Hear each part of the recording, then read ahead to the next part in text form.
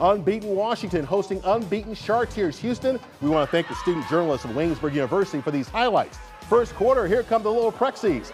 Davon Fuse to Carlos Harper. A nice move for some extra yards. And on that same drive, they find the end zone. Harper again scores. It's 7 0 Prexies.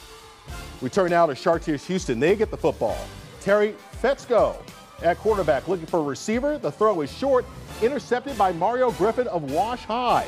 And the Prexies were in business. Then watch the trick play right here. Fuse pitches to Tayshawn Levy. Then Fuse takes off. Levy hits him with the pass. Touchdown Wash High. And from there, they would pile it on. Fuse to Gordon Rubin for a touchdown.